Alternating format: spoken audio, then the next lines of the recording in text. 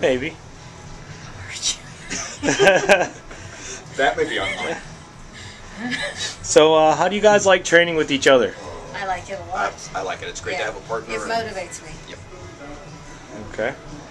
What were, when you came into the program, did you have any expectations coming in?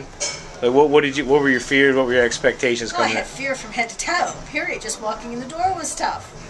I'm enjoying it now. Enjoying it? How so?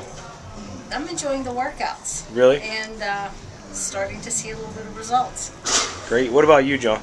Um, coming, I What were your expectations for the program? um, to uh, get increased strength, um, uh, reduce stress, which is, it has, and and strength, increased strength. Yeah, it's very enjoyable. How do you feel? Do you feel that training has changed you at all? I uh, feel better, uh, definitely stronger Yeah.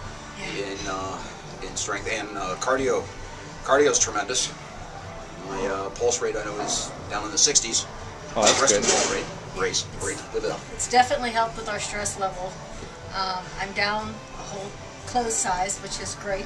Oh, that's fantastic. Yeah, I'm excited about that. Yep. So yeah, it's been great. Thanks, guys.